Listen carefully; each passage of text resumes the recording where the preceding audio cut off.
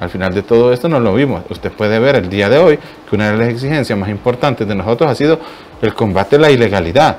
Usted puede ver que hoy por hoy no se puede ocultar la ilegalidad de los taxis VIP. Existen y están trabajando. ¿La complacencia de quién?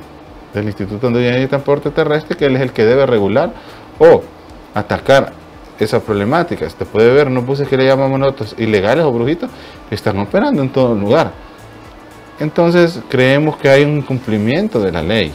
Y cuando la ley no se cumple, entonces quedamos como en un país que no sabemos por dónde vamos a agarrar, donde las leyes son los que nos facultan en un marco legal para que todos operemos.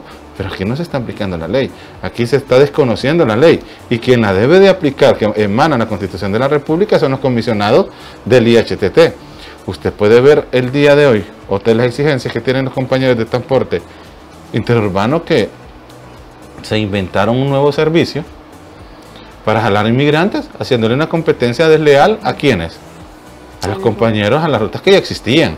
Y ese atropello no lo podemos nosotros. Y no se sabe de los cobros. Y, ellos mismos autorizan los cobros. Si usted busca en la ley o le preguntan a abogado, ¿dónde, ¿en qué se basan para esos cobros y de dónde los sacaron?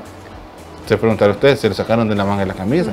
Pero todas las exigencias vienen a perjudicar a un sector que está operando bajo las normas y las y las leyes que lo regulan. Hoy por hoy nosotros no podemos cobrar más de lo que se nos permite en base a la ley.